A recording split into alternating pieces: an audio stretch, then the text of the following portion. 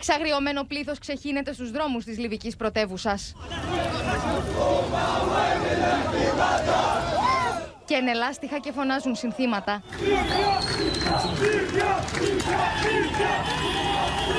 Κλείνουν δρόμους και μπλοκάρουν γέφυρες. Το πολιτικό αδιέξοδο στο οποίο οδηγήθηκε ξανά η Λιβύη είναι παραπάνω από εμφανές. And they've had enough of this waiting game and the infighting between the internationally recognized government in the capital Tripoli and the not recognized also government in the east of the country in Benghazi. Libya, ha- after the removal of the long-term leader Muammar Gaddafi, Οι διαδηλωτέ ζητούν την απομάκρυνση τη πολιτική ηγεσία, κατηγορώντα τη για αδιαφορία και για επιδείνωση των συνθήκων ζωή στη χώρα.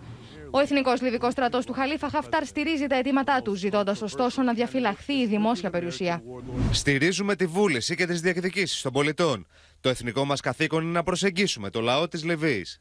And this all points to the real urgency of um, reaching a political agreement, moving towards elections, uh, finding a way to fold uh, armed groups into a national army. Από τη Βεγγάζιο στην Τρίπολη και από το Τομπρούκο στη Μισράτα, η έλλειψη χρημάτων, καυσίμων και ηλεκτρικού ρεύματο επιβεβαιώνουν την ανάγκη για άμεση διεξαγωγή εκλογών.